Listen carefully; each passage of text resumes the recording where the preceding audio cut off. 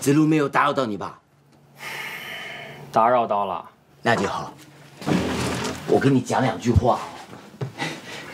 那个，明天进城的车呢，我已经帮你叫好。谢谢小舅。呃，但是你能不能带苏俏一起去啊？我是可以啊，但苏俏应该不会乖乖进城吧？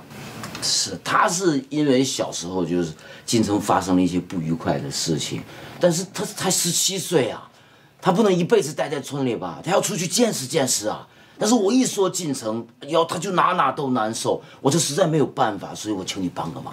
他那都是心理作用，哪有什么出副瓜村综合症啊？对，你说的对，他就是作，所以我想了一个办法，但是你们出发的时间啊，要提前一点，可以吗？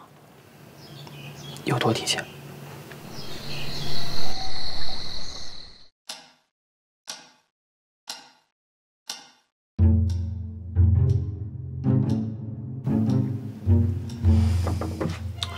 你这是干嘛呀，小舅？你说提前一点出发，也不至于这么提前吧？只能这个时间出发，因为他只有这个时间才睡得死，我才能让他跟你一起进城啊。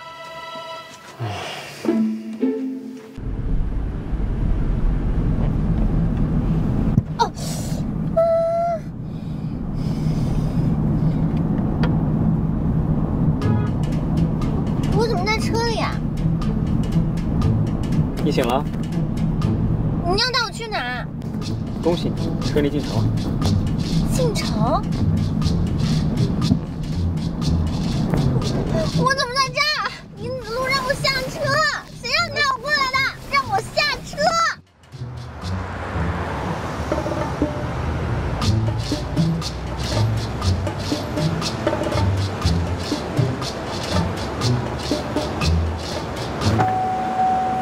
谢谢师傅。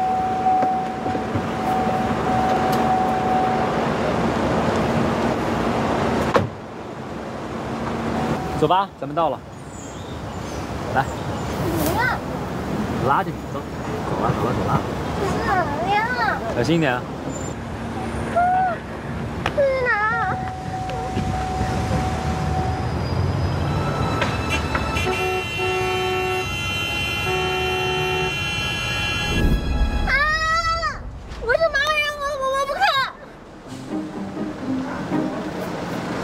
盲人不是不看，是看不见。我不管，我就我就是看不见，我有病，我待不了城里，好难受啊！小周跟我说过了，你根本没什么事儿。你们不懂，我在这会死的。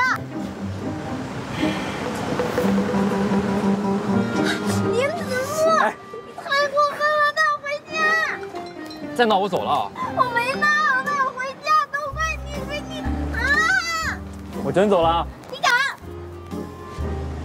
林子路，林子路，林子路，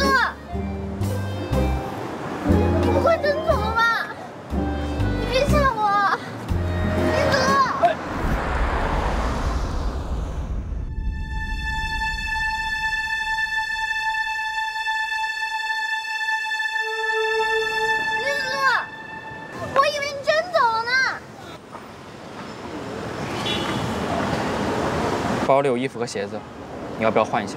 不要，